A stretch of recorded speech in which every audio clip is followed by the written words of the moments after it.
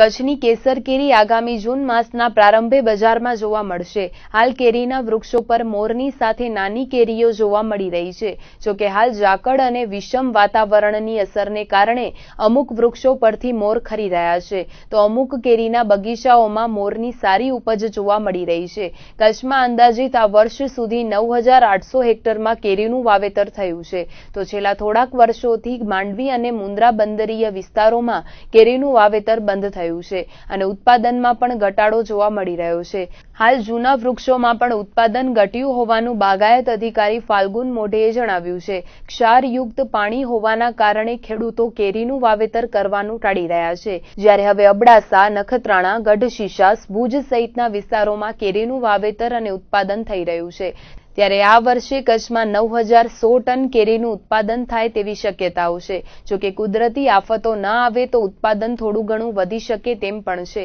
હાલ વાવાઝોડાની પણ શક્યતાઓ વ્યક્ત કરાઈ રહી છે અને ભારે પવન લાગવાને કારણે પણ વૃક્ષ પર ઉગેલા મોર ખરી પડે તેવી શક્યતાઓ છે. ત્યારે હવે જોવાનું એ રહ્યું કે કચ્છની કેસર કેરીનું કચ્છમાં કેટલું ઉત્પાદન થાય છે.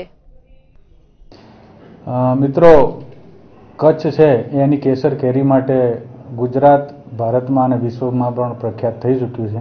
કચ્છની કેસર કેરીનો સ્વાદ છે, એ બધાને દાઢે વળગેલો છે. ખૂબ જ સારી ઉત્કૃષ્ટ ગુણવત્તાવાળી, મીઠાશવાળી, સુગંધવાળી અને કલરવાળી કચ્છની કેરી હોય છે. આવી કેસર કેરીનું કચ્છમાં જે વાવેતર છે, એ લગભગ નવ હજાર ને આઠસો હેક્ટરમાં એનું વાવેતર છે અને લગભગ એકાણું હજાર ટન જેટલું એનું ઉત્પાદન થાય છે. વિદેશોમાં વાત કરી તો ગલ્ફમાં અને લંડનમાં કચ્છની કેરીની સારી એવી માંગ હોય છે અને અહીંથી મોકલતા પણ હોય છે. ખેડૂતો સીધા પણ મોકલે છે અને મુંબઈના એક્સપોર્ટર્સ જે આવે છે એ એક્સપોર્ટર્સ અહીંયા આવી અને જે આંબાના બગીચા છે એમાંથી માલ લઈ સોર્ટિંગ ગ્રેડિંગ પેકિંગ કરી અને મુંબઈથી એક્સપોર્ટ કરતા હોય છે.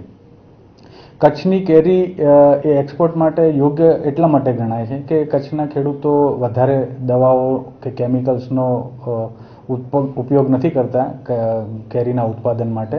અને ઓર્ગેનિકની નજીક નજીક જેવું જ ઉત્પાદન હોય છે, જેની અંદર રેસિડ્યુઅલ વેલ્યુ જે કેમિકલ્સની હોય છે, એ બહુ ઓછી હોય છે. એટલે આપણું ફળ ટેસ્ટ વાઇઝ સારું હોતા અને કેમિકલ્સના જે ટ્રેસીસ છે એ ઓછા હોતા અનુકૂળ હોય છે.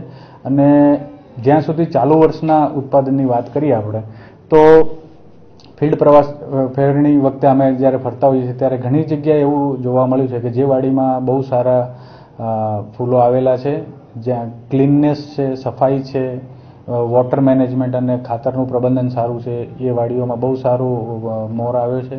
અને કેટલીક જૂની વાડીઓ, ગીચ વાડીઓમાં મોરનું પ્રમાણ ઓછું પણ જોવા મળે છે.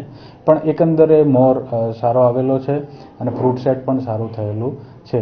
જે વિસ્તારમાં મોર ઓછો આવ્યો છે, તો એ ફળોની સાઇઝ વધવાની છે, એની ગુણવત્તા વધવાની છે, એટલે એમ ખેડૂતોને સારા ભાવ મળવાના છે. અને બીજા વિસ્તારમાં જ્યાં મોર સારો આવેલો છે અને ફ્રૂટ સેટ સારો છે, ત્યાં ટોટલ ઉત્પાદન વધુ મળશે, એટલે ખેડૂતોને આર્થિક રીતે સારો લાભ થશે.